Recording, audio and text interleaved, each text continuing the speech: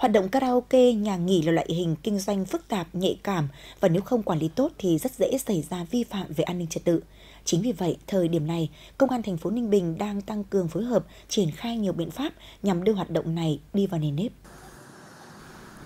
Theo thống kê của Công an thành phố Ninh Bình, hiện nay trên địa bàn có 57 cơ sở kinh doanh karaoke, một vũ trường và gần 200 khách sạn, nhà nghỉ với trên 1.000 người làm việc trong các cơ sở trên. Việc phát triển hoạt động này đã kéo theo một số vi phạm, trong đó phổ biến đối với loại hình karaoke là hoạt động quá giờ quy định. Cá biệt có cơ sở còn bao che, thiết kế phòng hát với âm thanh và ánh sáng không đúng quy định để sử dụng ma túy.